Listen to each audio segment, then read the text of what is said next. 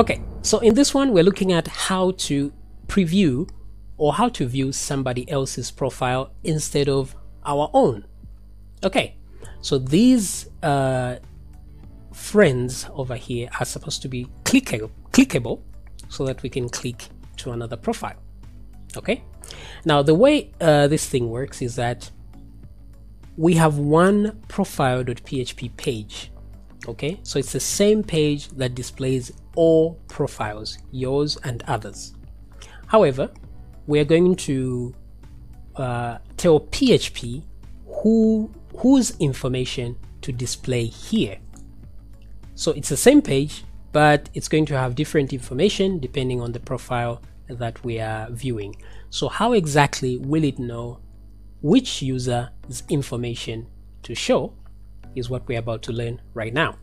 Okay, so if you remember uh, correctly, this section right here, uh, this thing here is contained in the users.php uh, file. So if I go to my folder here and go to user.php, if I open this, as you can see the title friends and uh, this is pretty much uh, this right here. So in, as you can see here, we we are only checking for uh, the placeholders, the male and the female, just like we were doing for our posts. And we changed that. So we're going to do exactly the same thing here as well by going to our post.php here where we checked if the user has a profile image and we use that instead. So we're going to do exactly the same thing, copy and go to user.php down here and paste that if statement. Okay, well and good. So we are checking if the file exists. Now this uh, row user is the variable that contains the information for the current uh, profile and not the current friend that is here. What contains that is this friend row right here. So we're going to copy that and replace the row user with row friend. Control D to select both of them and then paste. All right, so something like that. And let's check it out if anything has changed. Now, since both of these don't have a profile image assigned to them, this is why nothing has actually changed. But rest assured, it's actually working. Now, the next thing to do is to make this section clickable, and that's by adding an A tag. So we're going to make the whole thing clickable, the image and the name of this user.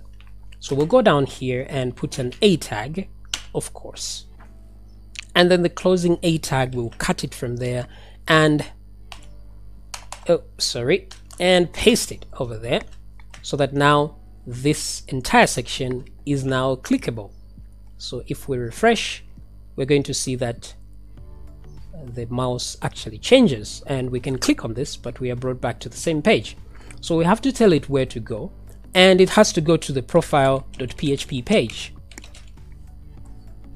okay now, the thing is, this is the profile.php page. So if we click, we get exactly the same result. Now, this is where it gets interesting because we have to tell uh, PHP which user's information to load when we click here. And so how do we do that? We do that using what is called a query string. Okay, so a query string is part of the URL here. All right. So let me explain a little bit. Let me copy. Uh, I think I can use a new document. Let me create a new document here for demonstration purposes. Now let's imagine we have uh, a, uh, a website www.facebook.com, right? And then you have accessed a particular page called profile.php. Okay, so far, this is exactly what we have over here. Now, if you go to any website, you will notice that there's a, uh, a bunch of text after this part right there. Now the thing is, if uh, let me go to my uh, my profile.php. If I add some text at the end of this, like this, just some random text and hit OK, I'm going to get this error which will say object not found because the browser can't actually determine what this is. It can't find this file right here. However, if I do something without changing this text, just go to the PHP, just at the end of the PHP, and put a question mark right there and hit enter, you will notice that my page actually loads. Okay? I haven't changed anything here, I've just added a question mark there. So what exactly is going on? Now, in every uh, URL, as soon as you see a question mark there, it means everything after the question mark is what is called a query string. So for example, that is a query string. Now a query string is data that you pass on to the page to give it a bit of context on what you want exactly shown on that page. So this is how we transfer information from one page to the next. So here, the way we're going to tell uh, PHP which profile to, to show is by adding a query string with the information of exactly which profile we want to view. Okay, now how do you access the information up there? You do that using what is called the get super global. Now, what is a super global? First of all, a global is a variable. So let me go back to, let's say, profile.php or one of these classes. Now, a global variable is a variable that is accessible anywhere on that page. So for example, I might have a function right here. I may have something like function uh, ABCD or ABCD, something like this. Okay. Now what happens is uh, if I have a variable over here, I have a variable right there. It might not be accessi accessible in this function. Or for example, I create a uh, let's say I have a is equal to 0 over here. And then I have inside this function I say a is equal to 5 now what's happening here is that this a and this a are very different. This a is only accessible inside this function and this a is only accessible outside this function okay that's what scope uh, entails.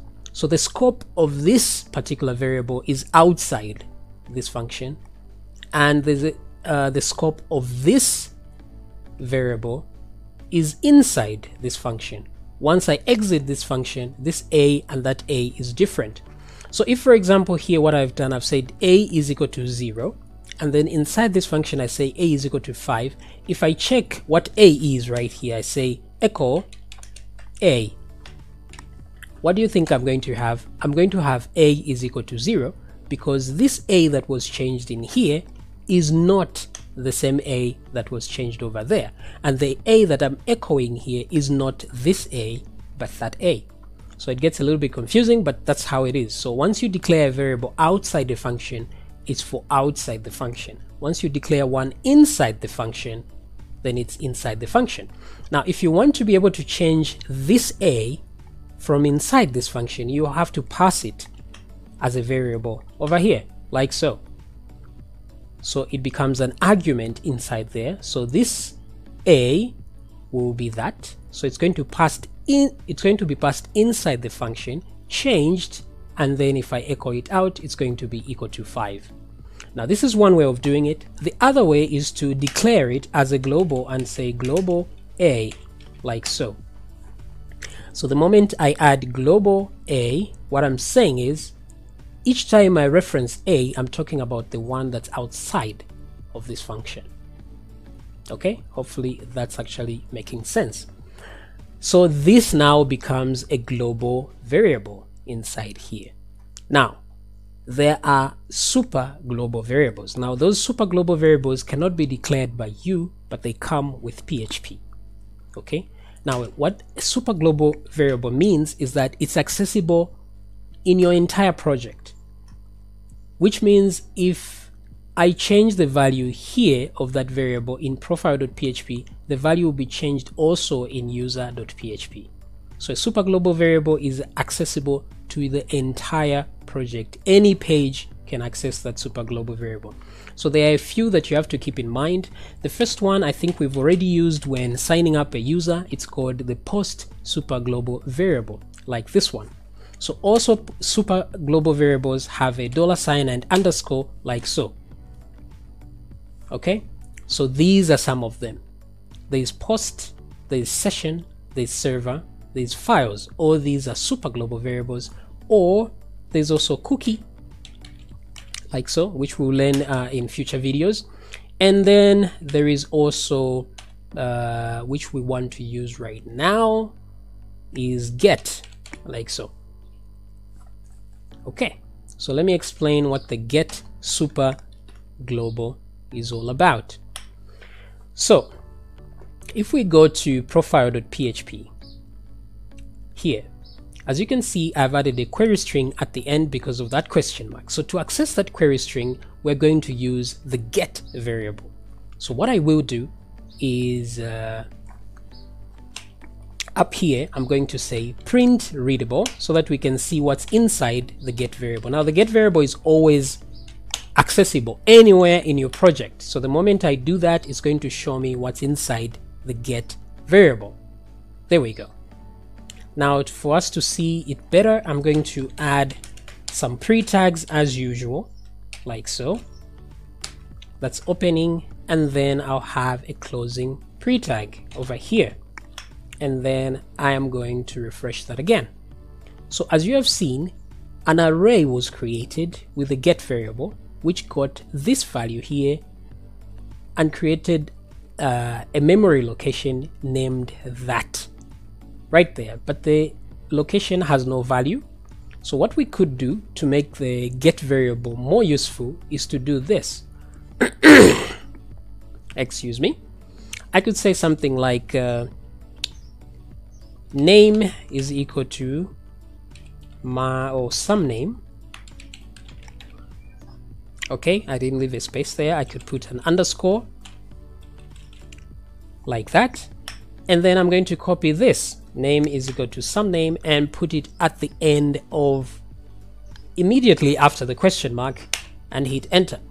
And now what you notice here is that an array was created in the get variable with a location in memory called name and then it's equal to some name. That's exactly what I wrote here. Now I can add more than one memory location by putting the and at the end here. I'm going to say and like so. Id is equal to 1234 like that. Okay. Oh sorry. Almost saving that one. Uh, reflex. So let me go back here and copy that entire query string and paste it at the top here. Okay so I have name is equal to that ID is equal to that so I'm simply creating some data over here that I can send to another page using the get variable. Okay, so in this case, for example, in our case, let's go practical now. Let me cancel. So you can put as many as you want. I can put an and here and put something else and u is equal to whatever that is. It doesn't matter. Okay, so let me close that. Now, if we go back to our example here, profile.php, so we are telling uh, this we're setting a link to profile.php but we just don't want to go to profile.php we want to give some extra information here in the get variable so that our program can know which profile to actually access. So of course we're going to put our question mark at the end and then we're going to say something like id is equal to and then we can put an id over there to tell it that on this one show us the profile with this ID. However, we won't know what ID. Since this is looped, every uh, every profile here is using the same file to access uh, the content right here so we can't put an actual number there so what we want to do is put a variable. So let's echo something. We're going to say php so we're adding php tags here because this is html and so we can't simply echo something right there. So we'll have to add the php tags and then we must add the word echo otherwise we'll get nothing. So the friend row right here. Now if i go to my uh, uh, database let me reduce the zoom there is ID here, but there's also user ID. So we're going to use the user ID to identify what profile we want to see. So I'm going to copy this and then I'm going to tell it to echo this, but user ID, like so. And then I'm going to put my semicolon and then close that like so. So if I don't put echo here, I get nothing. So echo must be there. And so let's go back and see what we get. So if I refresh my page this time, if I hover my mouse over this, now look at the bottom uh, corner, the bottom left corner of your browser, and it's going to show you the link that you are going to. So if I hover on this one, you see that the ID starts with 922 and if I go down here my ID starts with 810 which means these are different profiles. So if I click on this one I get a nice query string over there. This is what we get at the top. So you see we have ID is equal to that. Okay? Now contrast that if I click on Mary Piri here and then I'm going to get ID is equal to that. So what PHP can simply do is get this variable look up into the database who has uh, and check which user has this ID and retrieve that user and then display that information here. So I hope that process is clear uh, how we use our get variables. Alright, so in the interest of keeping my videos short, I'm going to move over to the next video where we actually put this into practice and see some different data here depending on the profile that we have clicked. Alright, so see you in the next video.